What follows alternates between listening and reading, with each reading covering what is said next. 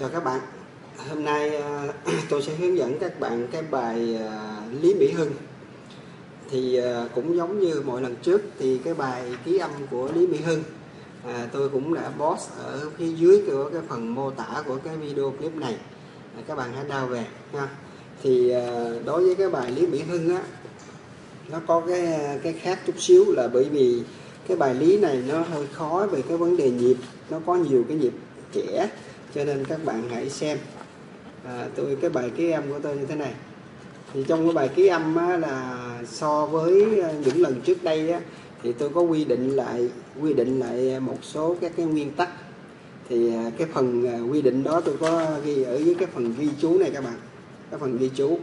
À, thì cái cái, cái cách bấm uh, nốt thì cũng giống như cũ thôi. Tuy nhiên có những cái khác chỗ này là tôi thêm vô dấu sao bởi vì cái bài này cái nhịp nó rất khó cho nên tôi phân ra nó thành bốn cái nhịp con mình sẽ dễ tập luyện hơn các bạn.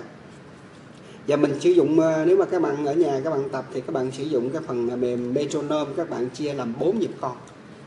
Thì các bạn sẽ thấy dễ tập và tập rất là chuẩn cái, cái nhịp. À, như vậy ở đây cái quy định của cái phần bắt đầu từ bài ký âm này tôi sẽ sử dụng cái quy định này các bạn. Như là cái dấu sao thì do cái bài này nó sẽ chia làm bốn nhịp con, có nghĩa là trong một nhịp chính, các bạn sẽ nhìn thấy bốn cái dấu sao.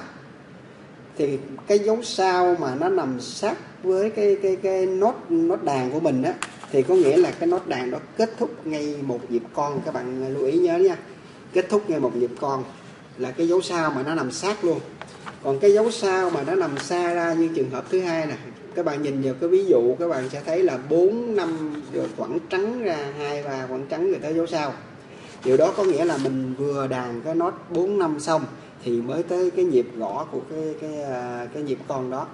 À, cái đó là cái phần nhịp. À, cái bài lý mỹ hưng này các bạn sẽ thấy là cái vấn đề nhịp nó rất là phức tạp. Và nó rất là hay các bạn.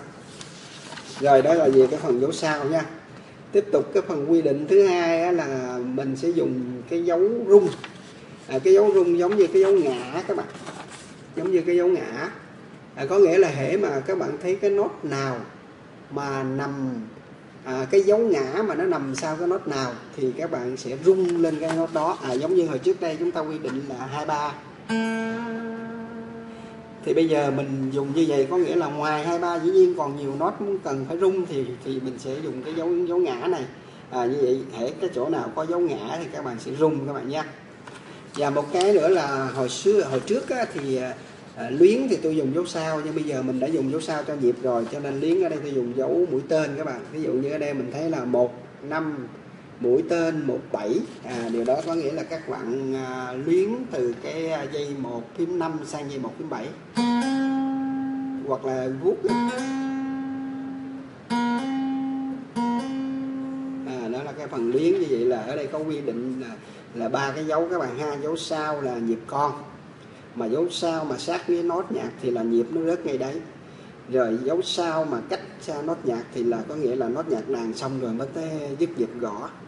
Dấu ngã thì là à, quy định cho là rung. Để cái, cái cái nốt nào mà có dấu ngã đằng sau đấy thì là phải rung lên. Rồi liến thì dùng dấu mũi tên các bạn. À, như vậy đây là cái bài ký âm của cái à, cái cái cái, cái bài lý mỹ hưng. À, các bạn có gì đau về các bạn in ra giấy nhé. Rồi thì ở đây tôi sẽ sử dụng cái phần mềm metronome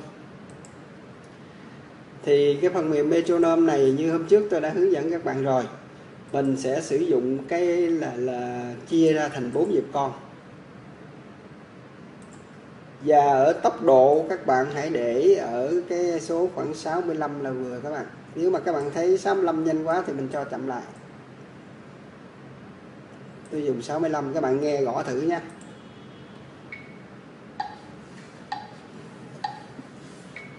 À đó như vậy mình thấy á, là nó gõ một cái cái cái, cái tiếng tiếng chuông cao và ba cái tiếng uh, chuông thấp.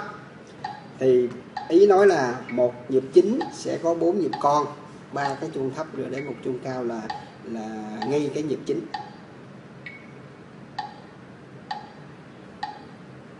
Rồi thì ở đây cũng cần nói thêm chút xíu là lý do cái bài lý bỉ hưng này cái nhịp của nó rất là phức tạp.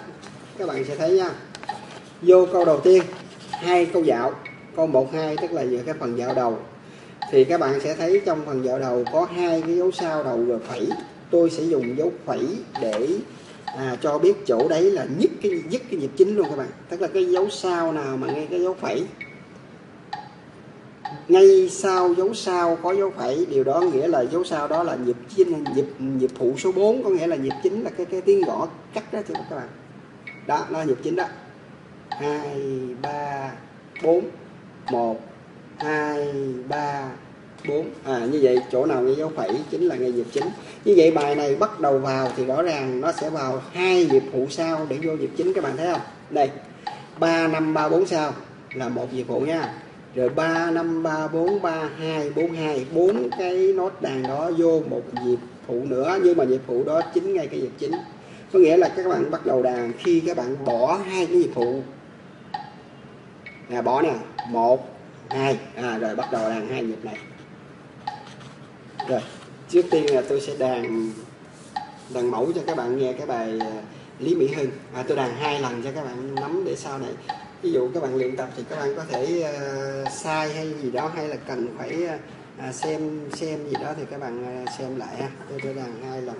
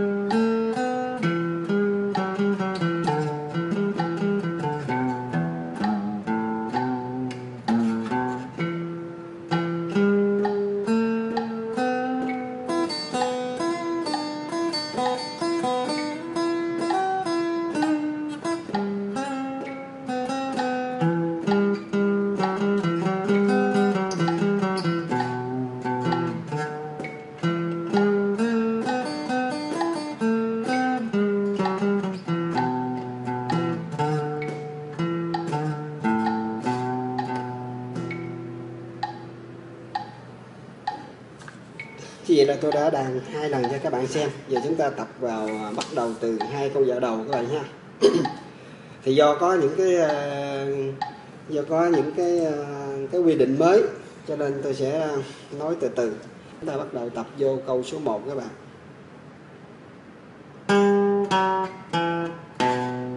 Là hai nhịp con cũng vừa dứt nhịp chính luôn các bạn.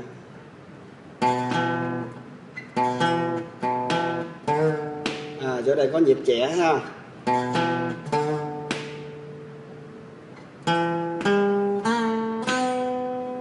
ngay dấu phẩy thứ hai tức là dứt cái nhịp số 2 bây giờ cái cái cái câu liếng này nè các bạn câu liếng này nó chảy qua hai nhịp. Mình đàn nhanh sao cho nó vừa hai nhịp nha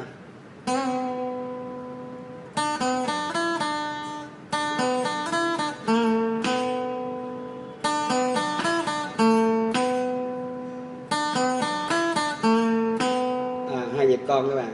À, bắt đầu từ đầu lại nha các bạn.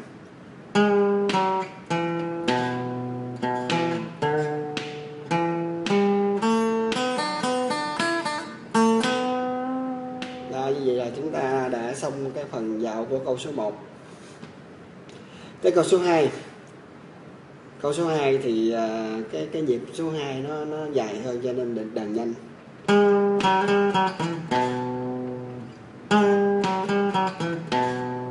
Cũng giống nãy luôn.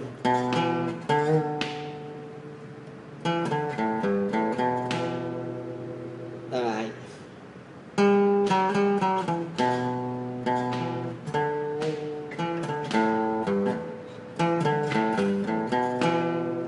Các bạn để ý tập một cái dấu sao rất ngay đâu thì cái cái nốt của mình phải nằm ngay đó sát bên cái nốt đó cho nên là nó sẽ không bao, bao, bao giờ sai nhịp.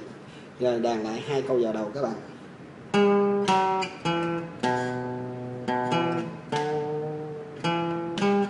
tôi mở cái uh, metronome đi cho các bạn nghe cho nó dễ nha. Nè bỏ hai nhịp nha. Một hai. Cái này nhớ nhanh quá các bạn ơi. Cái này đàn thì được chứ còn tập thì các bạn nghe không nổi đâu. Để uh, chậm lại chút. À, xem cái này coi.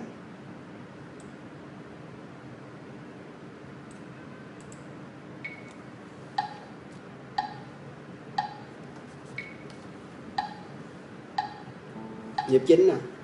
Bỏ hai nhịp. Một hai.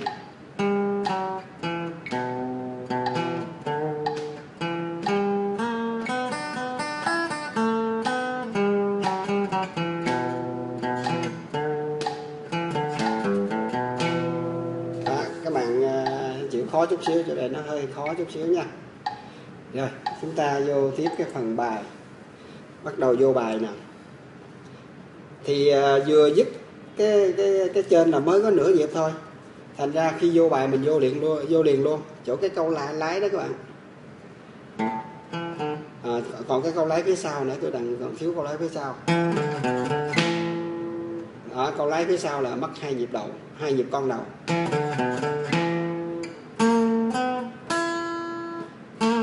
Nghe nó hai ba vô bài là nghe nhịp.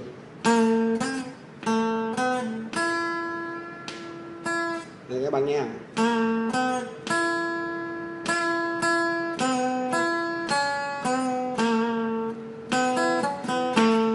À đó, để ý cái dấu sao nha các bạn. Rồi đàn lại cái câu số 3 tức là phần vô bài.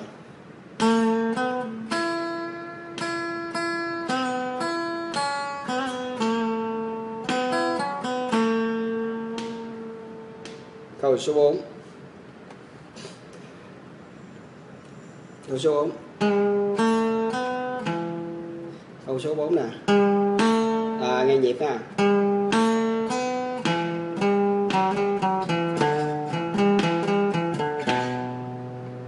làm lại câu số 4 nha.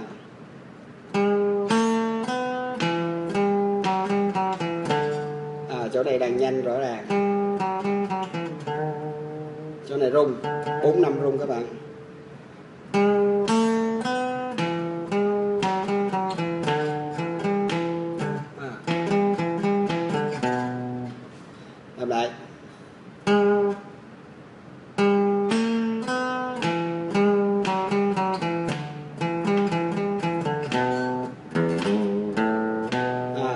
Phía sau là nó là cái câu lái. À, câu lái có bốn bốn nốt thì nó là hai nhịp con.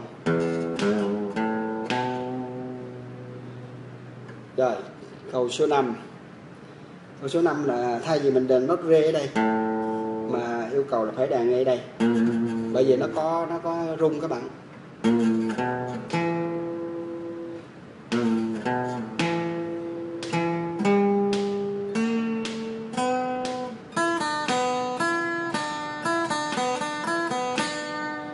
Lái nó qua câu số 6 nha bạn. Đàn lại câu số 5 nè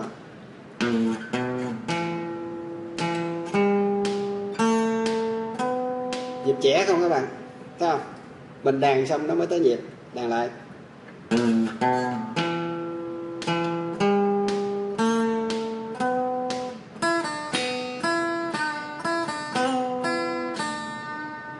Đây cũng được. Nè, một năm, một ba, hai năm còn ví dụ các bạn nào thấy khó khăn quá, đàn một năm, một ba, một không cũng được thì cũng là nốt mi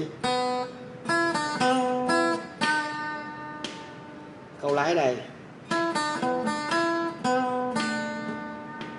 rồi, mình đàn lại câu số 5 và qua câu lái, câu số 6 các bạn.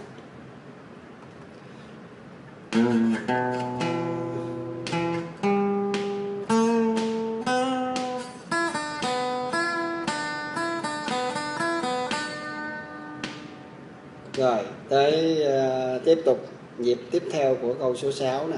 Một năm một năm nói một bảy đó.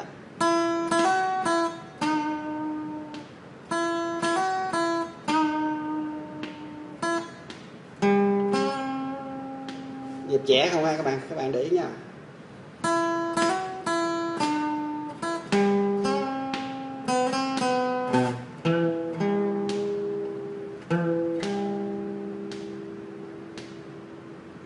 Giờ mình đang câu 5 đến hết câu 6 luôn, Tại vì nó có câu lái phía sau.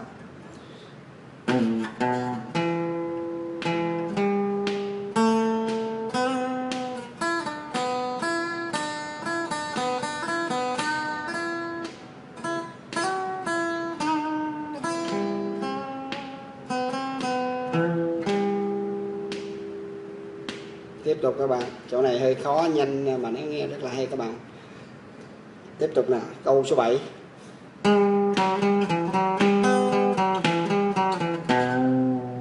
à, ở đây nó có một hai ba à, bốn nhịp. Bốn dấu sao nè tôi đàn bốn dấu sao đầu các bạn nghe nào chậm chậm. Một nhịp nè.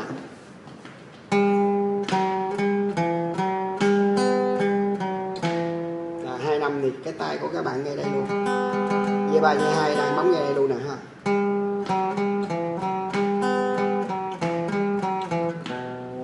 À, bốn cái dấu sao liền đó các bạn. Cái chỗ này tập thì nó hơi hơi lâu tí nhưng mà các bạn đàn xong các bạn sẽ nghe rất là hay nha. Đó là câu lái đó. Chỉ có câu cuối, cuối cùng mới vô nè. Rõ ràng không? Rồi bây giờ mình đang câu số 7 nha các bạn thì tiếp cho nó hết câu số 7 luôn đi, rồi mình sẽ đàn lại.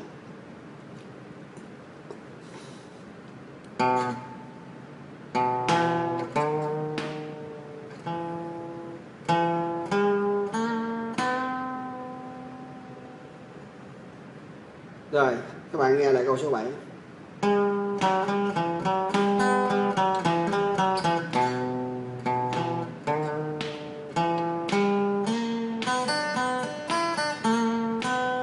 lái của câu số 8 y như ở trên hồi nãy của mình vậy đó.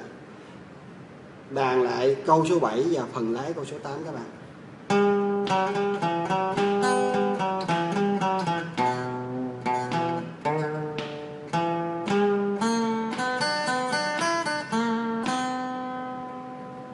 Rồi, tiếp tục phần còn lại của câu số 8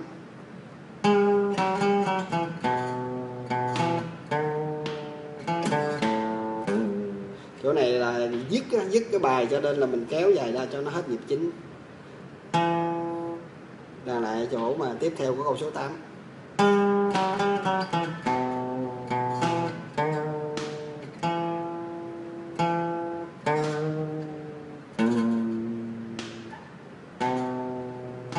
là giống như mình đang chậm chậm mình kéo dài ra các bạn.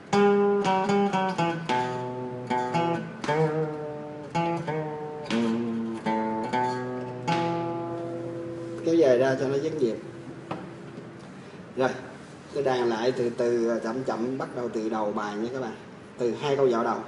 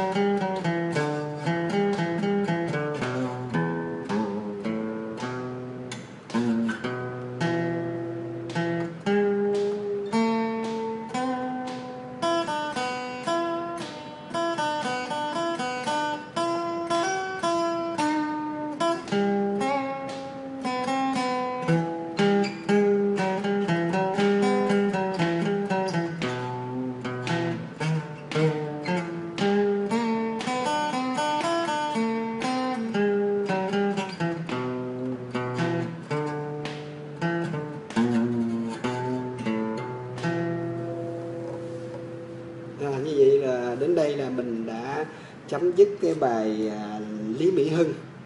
Thì à, các bạn hãy cố gắng luyện tập. Nói chung cái bài này tương đối dễ. Bài này so với cái bài à, bài này thì nó khó chỗ cái nhịp trẻ nhưng mà so với cái bài Lý Con Sáu thì các bạn sẽ thấy nó dễ hơn. Các bạn à, đàn cái bài này à, mà rành là các bạn sẽ thấy là đàn nghe rất là, là, là mùi mẫn và rất là hay. À, chúc các bạn à, luyện tập thành công. À, hẹn các bạn ở cái à, video clip tiếp theo. À, chào các bạn.